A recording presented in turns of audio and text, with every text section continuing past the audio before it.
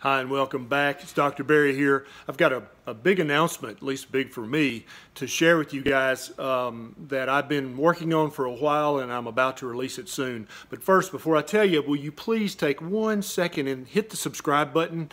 Hit the subscribe button. Come on, it's not going to hurt you. It only takes a second and it helps me spread the word and get the message out. And then if you'll hit the little bell down there beside the subscribe button, the next time I get a bright idea, you'll be one of the very first people in the world to know about it. Now, my big announcement. For the last year and a half, I've been working on a book and it's going to be up on Amazon in just a few days. And I'm uh, obviously very excited about this. Uh, I think Neisha, my wife, is more excited than I am because she's ready for me to be done with the damn thing. Because for the last year and a half, every time I open my mouth, guess what I've wanted to talk about? Sorry, Neisha. Love you. So, in a few days on Amazon, this is going to be available.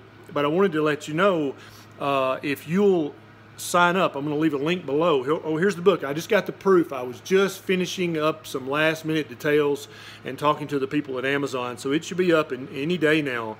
But if you'd like to read chapter one for free in the meantime, I'm going to put a link below and you can sign up. And then also, two things you'll get chapter one for free. You can read the entire chapter. And then also, the instant that the book is available on Amazon, I'll get you a notification out so that you'll you can go check it out there. Okay, so lies my doctor told me, a labor of love, and uh, it took me away from my wife and family for a year and a half, but it's finally finished.